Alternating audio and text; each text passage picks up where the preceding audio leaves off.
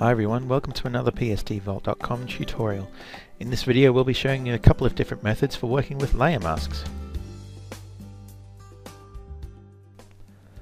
First of all I just want to show you how to create a basic mask for working between two images. So here we just open up the images and what we're doing here is just grabbing the copy of the flowers and pasting it as a new layer on top of the koala and at the very bottom there's a little button there called add vector mask. You can see in the layer we're working with it adds a little mask box right next to it. So we need to poke holes in this mask so we can see what's coming through underneath it. So we grab our eraser tool and choose whichever brush we want there. And as you can see we can choose between the size and the hardness of the brush. The hardness meaning is how hard the edge of the brush image is so for this one we're going with a really 100% hard brush. adjust the size. So you can see we're poking holes in this mask. I'm just going to undo a couple of clicks I did then. And I'm going to change it to a soft brush instead and show you what the difference is there.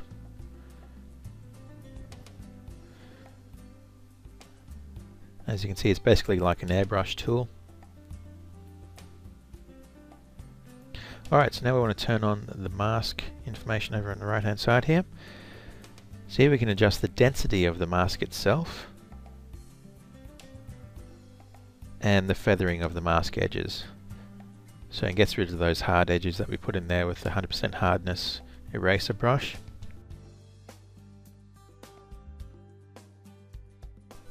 Instead of starting with a mask that shows none of the underlying layer, we can start by masking the entirety of our current layer and paint only the bits we want. So in the layer menu, if we go to layer mask, we choose hide all. So that's immediately hidden our current layer that we're working with and shown the underneath layer. So we'll choose our paintbrush tool here with a suitable brush head, paying attention to the hardness or otherwise. And we start painting on bits of the mask that we want to have.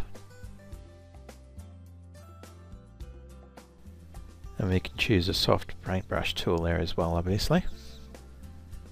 And change the paintbrush head size, whatever's easiest to work with for your project. And you can see on the right hand side there it's gradually filling in the layer mask thumbnail image with white, white indicating the mask that you're building up. And of course you can play with the density and feathering there again.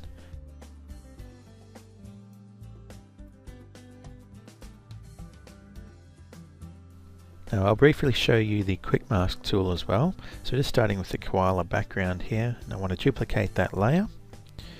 Now over on the left we've got a little quick mask button there. just press Q on your keyboard. Now this isn't actually painting red onto the image, this is just painting holes in the mask that we're going to apply in a moment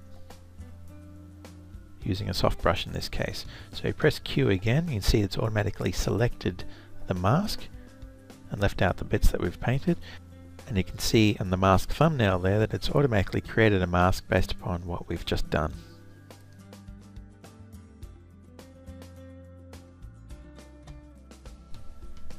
So now I'll show you the mask clipping tool. So we're just going to be working with our flower image there. We're going to create a new document with a white background and we'll create a new text layer. So the idea of a clipping mask is to have a mask on a layer which will automatically work with the content of the layer just beneath it. So I'm just going to select everything from our flower picture there, paste it into a new layer on top of the text layer we just made. Right click on this flower layer and choose create clipping mask and you can see automatically that it is now created the mask and clipped it based upon the text on the layer underneath. So if I move the flower layer around, you can see it updating within the portions of the text there. If I move the text layer around, you can see it also updating. If I select both layers together and move them around, of course, then they're going to both move in tandem.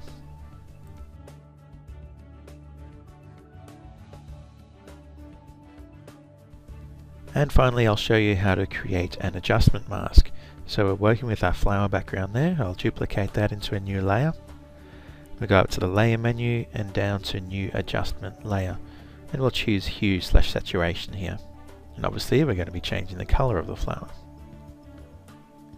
So we choose whichever colour we want. Changing other bits and pieces there, make it look however we want it to look. And of course we can poke holes in this mask that we've just done with our eraser tool and a relevant brush head. Obviously that one's too small, make it a bit larger. So make this flower look nice and deep red in the middle and yellow on the outside. I'll go up and do that other flower as well. It's easy as that.